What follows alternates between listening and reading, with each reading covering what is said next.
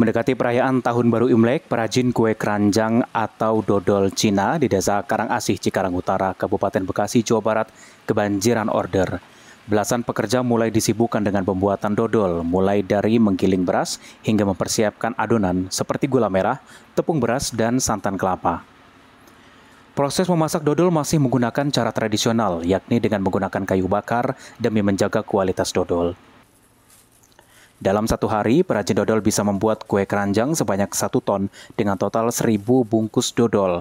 Untuk mempercepat proses pembuatan, perajin dodol menambah jumlah pekerja.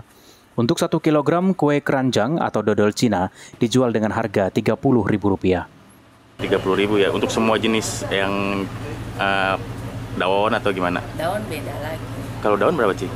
Di atas 30 Per kilo? per kilo. Berarti nggak jual per piece ya, per kilo ya? Per kilo. Hmm. Nanti dodolnya ini uh, rencananya buat dibagi-bagi itu atau gimana Bu? Ada yang buat bagi-bagi, ada buat pesenan. Buat dikasih lagi ya Bu ya, buat tetangga-tetangga lah gitu ya?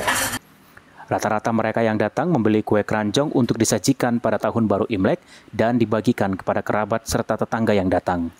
Pesanan akan semakin meningkat tiga hari jelang Imlek. Bahkan pesanan yang datang tak hanya dari wilayah Bekasi, tetapi juga dari Bandung dan Surabaya. Rahmat Lubis Majid, Jak TV.